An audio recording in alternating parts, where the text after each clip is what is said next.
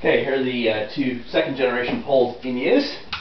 I just pull down, I put it where I want it on the floor. There. Grab another one. That's all there is to it. So depending on the application, you can use the spring foot part uh, against the ceiling or against the floor. I'm finding in general it works better uh, against the ceiling, particularly when you're dealing with, dealing with the backdrops. Um, this, the latest version has a line on it, so I can just grab the line, pull down, and move it out of the way. Set my foot, put it up, drop. It's really easy to do it. You can't quite do it one-handed, uh, but, but very nearly. If you had to, you could do it in a pinch. Alright, this time we have our studio backdrop.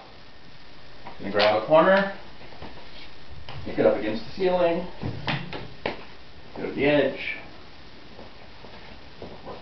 across.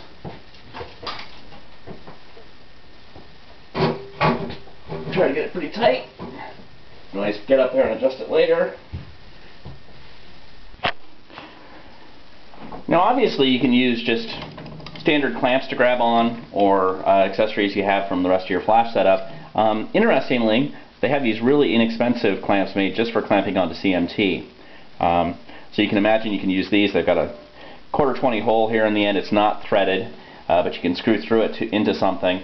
Um, I've actually mount, mounted my whole uh, my whole flash bracket on this at one point in time. You'd probably want to replace the screws here with threaded knobs, and they're really not that tough. If you put a lot of weight on them, they will slide around.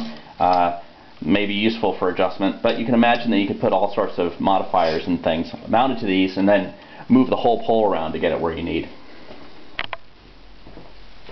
Obviously you can take a little piece of gaffer's tape. In this case we're just going to imagine that we need to set up a light modifier because we don't have an assistant. Tape it on. A little piece of dowel here.